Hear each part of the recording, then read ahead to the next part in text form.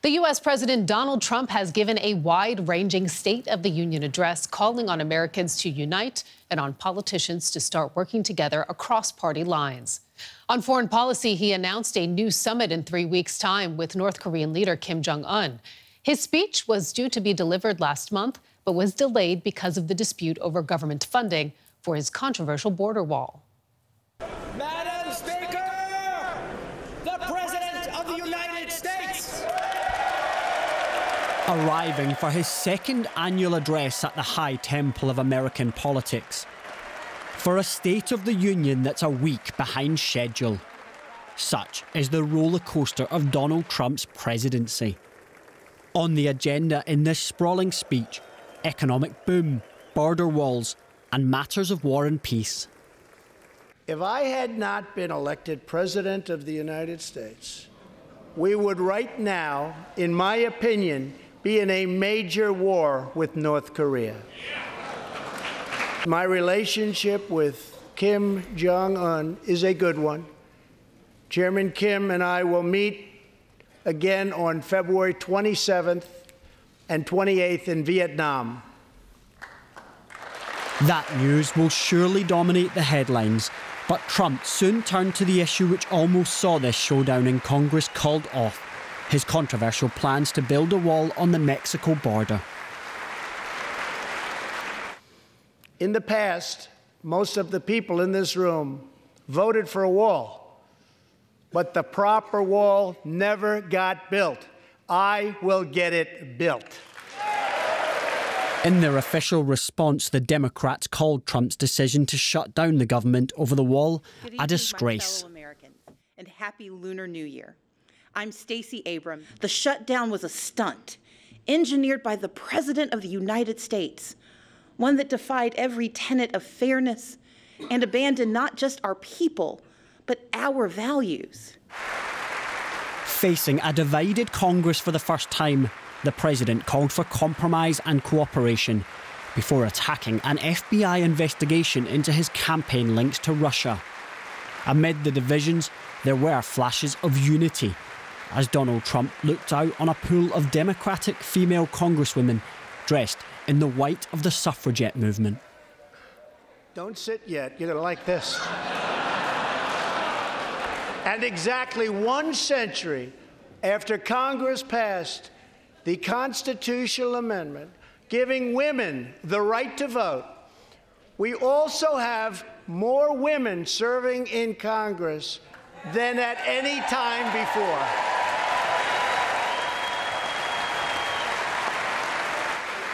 Harmony at last, but in this deeply polarised cauldron of politics, for how long? Let's get a deeper analysis now of this speech. We are joined here in the studio by Torrey Taussig. She's with the Brookings Institute, a Washington nonpartisan think tank. She is a specialist on U.S. foreign policy. Welcome to the program. Um, you know, th this president, he, he billed this speech as one that would unify the country. Of course, we have, um, you know, divisive politics as uh, uh, recently, um, especially given the government shutdown in Washington. How did you see it? Well, let's remember State of the Union addresses are meant to do two things. One, to bring unity to a country, and second, to outline the primary policy proposals put forward by the president. However, we have to remember the context that the speech was given in. This is at the end of a unprecedented 35-day long government shutdown, and it was given by an incredibly divisive president who is constantly calling out Democrats for being a disservice to the country, and who just hours before the speech uh, berated uh, Democratic Senator Chuck Schumer for uh, kind of taunting him for losing the uh, Senate majority, so to speak, in the Senate. And so this was a speech given by a divisive president during a divisive time, and there was not much he could say to overcome that context. And given that, I mean, what did you make of the dynamics in the room, especially? I mean, one, one couldn't help but notice that the women there were making quite a strong statement.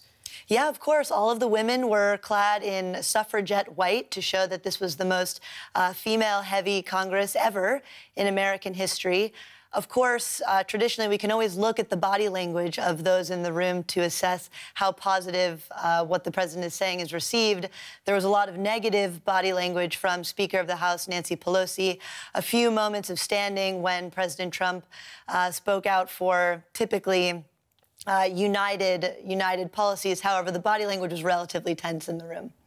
What did you make of the content of the speech? I mean, Trump, in a way, this was really um, his greatest hits. I think we have to say he, he, called for border wall funding. Um, he also hailed the successes of his international diplomacy, as he called it, with North Korea. We also got some more details about um, his upcoming meeting with Kim Jong Un that we know will take place now in February. Your reaction to the focus of this speech, to the content? So, of course, President Trump was going to come out and speak about the economic strengths that we're seeing in the United States 4% unemployment, high economic growth. All of these are accurate, and, and the president rightfully uh, tried to strike a positive note on that. Uh, of course, he then went after more controversial policies like border funding, which overshadowed a lot of the speech, and then turned to a number of foreign policies, uh, including this upcoming summit with Kim Jong un. I think the national security community in Washington and abroad has always been very skeptical of President Trump's attempts at diplomacy with Kim Jong un, and I think that skepticism will continue moving into this next planned summit. If you are an international ally of the United States, how do you think that you view this speech? Because, I mean, this is a president who has very much been known for cozying up to enemies, um, alienating those allies. What do you think their takeaways would have been? I think if we look at NATO allies, for example, they were not expecting much from this speech. President Trump, like presidents prior, have called out NATO allies for not spending enough on defense, but he has struck a particularly harsh tone, almost questioning the intrinsic value of the alliance itself. And so there was not much that alliances, uh, that NATO allies were looking for in this speech. Of course, in the Middle East, we've had a recent announcement from President Trump saying that the U.S. will withdraw troops from Syria regardless of how allies in the region viewed this, it was met negatively by his own Senate Republican members. And so I think he feels embattled both uh, within Washington and abroad when it comes to a number of his recent foreign policy statements. Torrey Taussig breaking it all down for us um, on the State of the Union address by the U.S. President Donald Trump. Thanks, Torrey. Thank you.